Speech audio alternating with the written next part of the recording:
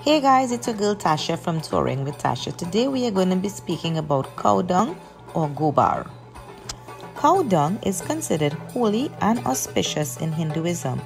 It is used in many of their pujas, weddings, and yagnas, especially Govardhan Puja.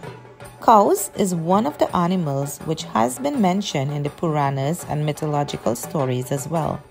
It is said that the cow doesn't eat non vegetarian items and only eats grass or greens, which makes cow dung wholly unacceptable.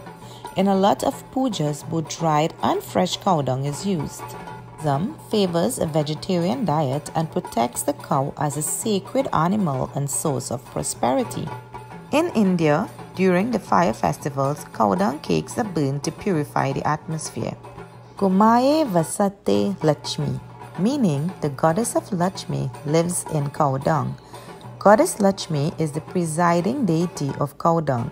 She is the embodiment of wealth, prosperity, and marital happiness. Mentioned in the Puranas, similar to the image of Lord Krishna being male and female, mountain and river, the Govardhan blends male and female sexuality that together produce offspring. Hence, the gobar or cow dung is known to represent fertility in marriages. So there you have it, all about cow dung. Thank you for watching. Please like and share. Bye guys.